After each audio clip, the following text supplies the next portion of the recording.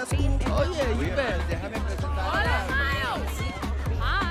Your parents have been looking for you. I don't know why. I've, I've just been here the whole time. Oh, yeah. Ah, hi. You were supposed to be here at five. I know, I know, I know. You disrespected but... your dad. Yep. Missed his beautiful mm -hmm. toast. Come on. You, did you even see the cakes? There's some heartfelt messages on them.